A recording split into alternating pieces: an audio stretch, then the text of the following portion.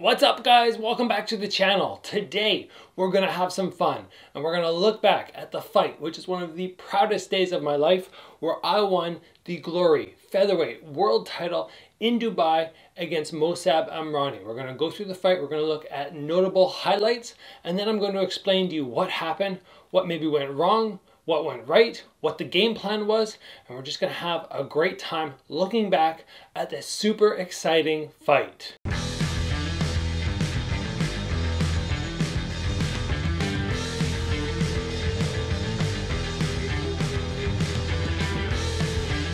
My fight against Mosab Amrani was actually nominated for Fight of the Year within Glory. There were three candidates. Joseph Valtellini versus Nieky Holzken ended up winning, probably because the big KO finish. But this is a fight I'm very proud of. Not only because it was entertaining, which is something I always want to do when I compete, but more importantly, because Mosab Amrani was legitimately the number one fighter in the world when I competed against him. He was the guy to beat. He had taken down Yuta Kubo. He had knocked down and knocked out Liam Harrison with a vicious body hook. He was a scary, scary dude. And going up against him was a massive challenge, one which I was able to rise to the occasion at, but still, it's worth going back and looking at this fight and breaking it down just because, like I said, super fantastic fight. Now, before we dive into the action, I would like to take a moment and thank the sponsor of this episode, BiOptimizers. I want to talk with you guys in particular about the trip that I had to do for this fight to compete against Mosab Amrani. I had to travel from Victoria, BC over to Dubai. The trip in total took 34 hours. By the time I got there, I was tired, I was jet lagged, and I did not recover properly. I could have competed much better had I been on BiOptimizers Magnesium, where the sleep is just that much more dialed in. I've learned since I competed in 2015 in this fight that sleep is a priority. I have gone on in future fights to really try to maximize the sleep and make sure that when I compete,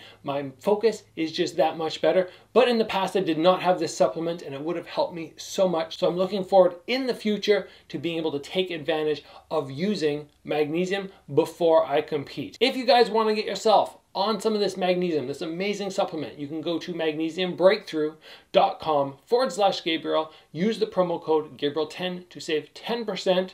And I will be back midway through the video with a few little pointers on why you want to get using this supplement right now. But for the moment, let's dive in to this fight right from the opening bell where the action starts. And you guys can see right from the opening, and I, great stare down, good intensity, when I stare down with somebody, I don't really look in their eyes, I try and look through them.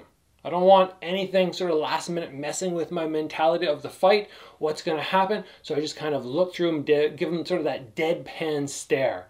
And actually, Mosab said that when he did the face off with me, he already felt like he was going to lose just because of the eye contact. Something about that, I don't know. So here we go, opening right from the get go. Mosab comes out in a southpaw stance, which is different than what we prepped for. We were prepared for a lot of high volume combos from him early on. Go for a big KO. He'd been successful with some good body shots against other opponents. My main goal early on was to make sure that I did not buckle under his pressure. I didn't let myself fall victim to what so many other people have, where he just sort of wears them down with that early pressure and they're not able to recover. I wanted to show him that I'm here to fight. Good head evasion early on, making sure I'm not just a standing target. Lots of footwork from me. You can see I'm making it hard for him to land the big shots. When you fight somebody who is a power puncher, they're coming to take your head off, you have to make sure you don't just stand there and be basically a stationary target for them. Because if I guard up, I might have the best guard in the world, but I can't possibly cover everything so all of a sudden something's going to land. But with footwork, all of a sudden it becomes much more difficult. If you add in some little bit of head movement while keeping your head protected, that much more difficult to actually land a shot. But I was not air free. It does not happen in fights. Mosab is just throwing combos so fast. The body shot there was spectacular. He asked me after the fight, how did these body shots not put you down? And I just said my conditioning to the body was crazy. I always push my body conditioning to an extreme because I basically go, my job is to protect my head. If I'm protecting my head, my body is going to be left exposed. And if I take a couple shots, I can't crumple. So I do go above and beyond to get that body conditioning down. So guys like Mosab, after I compete against him, just go, what the heck? You didn't drop. From here in the first round, we see an air. I guard up, I drop my weight forward, and I let Mosab unload. You do not want that happening when you compete. You want to make sure that you are utilizing that footwork, which we already talked about. That was a moment where I did not use it, and you saw the repercussions of that error. In addition, letting your back hit the ring ropes is a terrible idea against a pressure fighter, especially in the early stages of the fight before you've had time to assess his power right against the ring ropes is not where I want to be. I want to make sure I'm out in the middle where I have that ability to take that footwork if I need it, to lean back if necessary. When the ring ropes are touching your back, you eliminate that. So I went back to my corner after the first round and they said, no more back against the ring ropes. You've got to take the center of the ring. You've got to angle. Right at the end of the round here, we see some nice pressure from me, forward, forward, forward, forward, nothing's landing, I back up very quickly. This is something that sort of divides that gap between amateur fighters and high-level professionals. When you're on the attack, you need to make that assessment if things are landing flush and if the guy's in danger. If he's not, and I continue pressuring forward, the counter shot will come and you might pay. So in that instance, you saw me apply pressure, realize, okay, nothing, stunned him, back out, reset, and then right away back on the attack. Taking those split second moments to break and make sure that you're not making any errors that will lead to you getting clipped is essential for high level fighting. Overall, I'd say round one went quite nicely. Although my back against the ring ropes and taking a few body shots was not ideal, but overall I knew that the first round would be very hard to win. Going into the second round was where we went, okay, now I have to pick it up. Now I have to make sure that I'm really applying some pressure, putting some cardio intensity on Mosab because we know that going into round three and four and five, his cardio would start to waver. So we come out into round two, guns firing, me not giving him any you know recognition that he can slow me up. I need to tire him out and I need to make him respect me. If the guy does not respect you, he will keep pushing through and pushing through. This fight is just hectic. The both of us are trying to push the pace faster than the other guy. You can see I'm willing to fight in the fray. Little slip there from Mosab. His footing, as we get further in the fight, becomes less stable, and I knew that going in. That if I could wear him down, he would start making little trips, little slips, and that just doesn't look good to the judges. That's just something when somebody looks unstable and they're wobbling, it just makes the other person look like they're in control. Now here's an important moment that I want to talk about. I get clipped with the uppercut, but then I still evade the hook. This is another massive gap between an amateur fighter who's still improving and a high level fighter who's got a lot of stuff dialed in. You can get hit, but then recover and stay safe. Whereas many people, when they get hit, they get more and more danger every time after with another shot landing, another shot landing, and they're not able to breach that gap and get back to being protected. This is something that you really have to work on so that your defense is extra sharp. You get clipped, but then you have your eyes still locked on and you can recover with that tight guard. Round two is great. Boom, both of us taking big shots there, standing right in the zone. I'm taking that little step back, controlling the range, Nice high kick, nice front kick right off. That right there was actually something I was taught by a Muay Thai trainer who is in town here. You come with the rear leg round kick and then right after that you come with a spearing front kick. And what happens is people block and then if they go to approach, they end up walking right in. I've tried this many times. It is super effective, something you guys should try out yourselves. Back to the fight, getting into the later stages of round two. You can see that Mosab's starting to slow down just a little bit. I'm able to get off some nice combo work, finish with the low kick. We're bombing punches back and forward. It's only a matter of time till somebody takes a shot. Nice little evasion there. I love this move right here. He moves in into a scissor knee. He blocks it but still very nice technique, very nice little setup. We see this land very often in the UFC. People approach and the guy throws a switch knee and boom, all of a sudden people are out. Round two was a frantic pace, but you know, I can't let up because we're going into round three. And this is the part where we knew he would start to slow down, start to tire. Right from the get-go, opening round, we can see it's a little bit more controlled than before. He's coming out a little bit more tame. Nice hook from me there, and then right back into the action as soon as he gets clipped. He came out a little more controlled. He gets hit, and then all of a sudden he wants that scoring back. He gets a little bit more wild, and we knew that would happen with Mosab. We knew he would come with tight, sharp shots, but the further we would go, the more the shots would start to get wide, leaving his jaw compromised and making it easier for me to see the shots and make sure I get the blocks off. Still utilizing footwork. Big shots coming in from Mosab. I'm trying to evade. Nice little slip out there, get out of range of that big overhand. He's trying to hit me so hard at this point, probably trying to get that finish because he's starting to get tired, that he legitimately falls. And this is not the first time I've had people do this to me. It's never been in a fight before where somebody's fallen off a punch, but I've had two times where people were trying to hit me so hard in sparring, and this was in particular both times against boxers, guys who came in to just work hands with me, and they swung so hard that they ended up doing a 360 and fell down to the ground because their feet feet got tangled. You have to be careful when throwing too much power in a punch. You don't want to lose your balance and go down. Back to the action. Once again, bombing shots in back and forward. He's so good at counters. You have to be ready for Mosab counters. If you hit him, he's going to throw back. Nice catch there, push down. Technically not allowed in glory, but whatever. Somebody leaves their leg out, you hit, they push them down, I say it should be allowed. As we move into the last minute on round number three, I'm applying some solid pressure, trying to make sure I win this round. Mosab's throwing, but things are wild. Beautiful flying knee there. He does a good job getting off the ring ropes. He doesn't want to stay there. It's a bad spot for him at this point now that I have the center of the ring. Mosab's tiring down, no doubt, but he's still dangerous.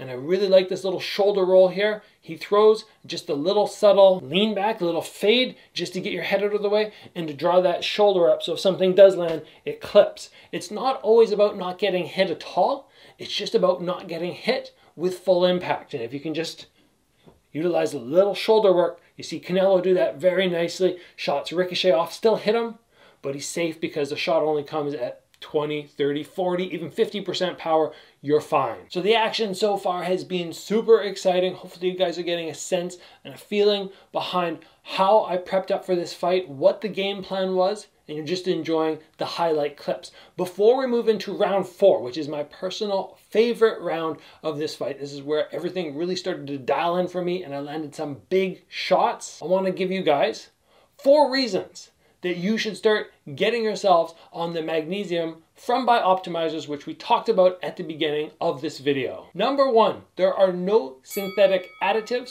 or preservatives added to the formula. Number two, it helps to improve the ability to deal with stress and relax, which is so important if you're somebody like me who's in a fight sport where you're going to have a lot of stress because you're up against guys like Mosab Amrani.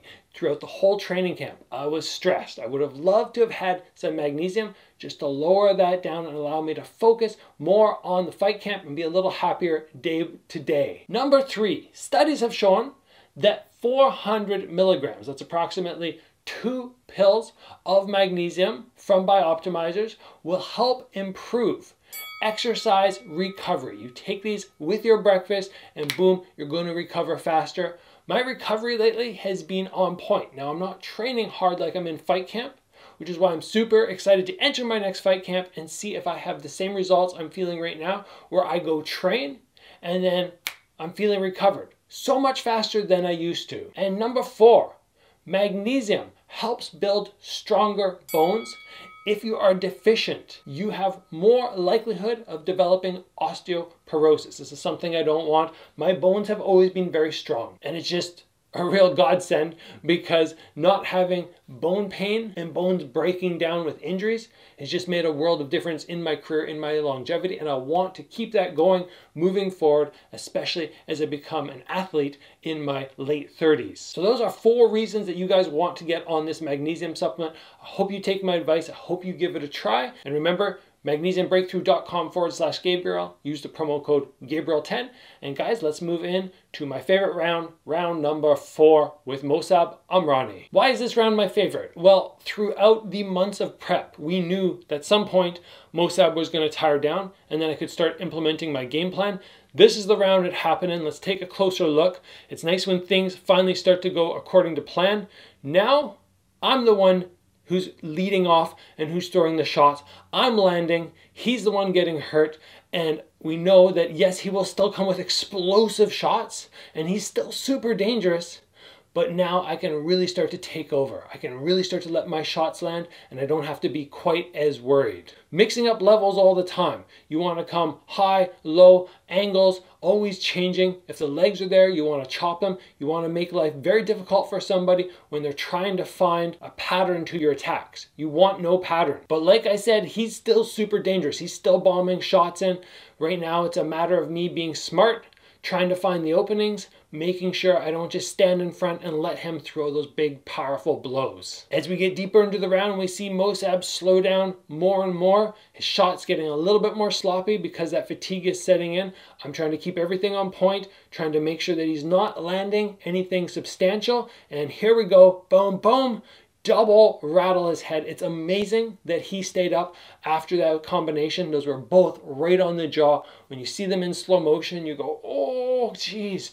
And he managed to stay up, which is just a testament to how tough he is. Everybody at this super high level is crazy tough. I have realized that now. That is a massive difference between people who are in the top five and the people who are down sort of in that rankings of 20 and below. Massive skills, massive toughness to all the top guys. You don't get to the pinnacle of the sport without being super tough. A fantastic closing to round four where we both just stand our ground, throw down, and bomb shots back and forward. Super exciting. And finally, we move into the last round of the fight. Round number five. At this point, I don't really know what's happening. I know I did not win round one, but there's a good chance three and four were mine. Round two, not sure, but I have to go for it. I have to win this round. I know that. Mosab has recovered his energy a little bit. He's coming out hard, coming out fast, still trying to get that big knockdown. The shots and the speed between his combos or his punches is spectacular. That's one of the dangers about him. If he hits you here and then he's coming right down here, you don't have a lot of time to be going individually. You just have to keep tight, keep shelled up, and make sure nothing lands. One of the things going into this fight, which I did recognize, is it's tiring throwing legs. Legs are much more exhausting than hands, and I did want to utilize them, but I was realistic. And I just went, you know what? They won't probably come out that much. I'm not going to try and out kick this guy. It's not going to be like a kicking versus punching battle because it'll be too fatiguing and I need to keep my energy because I have to push hard in the first couple rounds to wear him down. But still in the fifth round, we see me starting to throw in some kicks. I throw them, I go, oh, they're tiring, then I go back to hands, but still mixing them in as best I can and being unpredictable. I like this next combo here. Standing in the fray a little bit, big shots coming, little switch kick, just mixing it up, using that footwork, making sure that it's just difficult for him to land. And you can see at any second here, I'm ready to pull my head out of the way if he comes with a big attack. Into the last minute of the fight. Nice double jab there. Try to whip the hook in. Nice evasion by him. Switching up the levels now, body and head and down to the body, making my head pull back very, very fast utilizing the whole ring, making sure that he can't just walk me into the ring ropes like I let happen early in the fight. And right down to the final stages of this fight, there's still spinning kicks coming out, still busting out all the fancy techniques, big whipping hook behind the guard there. Those are nice ones to set up. Just keeping him on the back pedal, not giving him time. Take a little shot there just because I'm being lazy. And that's the end of the fight a spectacular contest between the two of us. I really thought Mosab and I would go on and have a rematch just because that was such an exciting fight. But as it turned out, once he fought me, he had trouble getting the title back. He ended up facing Sergey Adamchuk, who I fought twice, and couldn't figure out how to defeat him. Adamchuk was quite the puzzle, and Mosab, with his pressure style, just couldn't really crack it. So Mosab never really saw him climb back up to the very top stage. I think he did win a contender tournament after that, but I am still kind of disappointed the two of us didn't get to meet again and put on another spectacular fight. I hope everybody enjoyed this breakdown of Mosab versus I. I hope you enjoyed getting to hear my thoughts on it. Keep in mind that these big, massive fights, when you're fighting at the top level, it's just a dream come true. And I'm going to tell you a quick story about waking up the next morning. So I went to bed. My sleep routine is usually very, very short after I win a fight or after if I don't win a fight because I sleep so much fight week. So usually I go back to my hotel room, I get about two hours of sleep, and then I naturally wake up. Partially because my sleep schedule is all over the place because I'm usually traveling and I'm jet lagged. But anyway, I woke up after my two hours of sleep and my eyes were closed, but I was awake. And I remember going, I just dreamt that I beat Mosab. And oh man, that was an awesome dream. And then I kind of went, wait, no, I, did I actually fight? Like, is it the morning after the fight? And I was kind of disoriented, still a little, a little hazy from waking up. And it took me a good 20, 30 seconds where I sat there with my eyes closed, trying to decide if there was a belt right beside my bed, a big glory belt, which I dreamed about achieving, winning for so long. Is it there? Or did I imagine it and now do I have to wake up on fight day and actually go and try and win it? And it took me about 30 seconds. I went, no, I think I really won it. I remember opening my eyes, looking, oh yes, I did win it. The fight's done. I accomplished my dream. And that was just a really wild moment for me because usually that doesn't happen. Usually when I wake up right away, I'm sharp, I'm dialed in, I know exactly what is happening. Anyway, guys, I hope you enjoyed the fight highlights, this fight breakdown of one of the most important fights of my career, one I am super proud of. If you guys enjoyed the video, please give it a like. If you haven't already, join the channel, get subscribed. Remember, head over to BiOptimizers the website, magnesiumbreakthrough.com forward slash Gabriel. Use the promo code Gabriel10 to get yourself 10% off on this magnesium supplement, which I am just in love with. Guys, I'll see you back here soon for another episode. Until then, continue to train hard.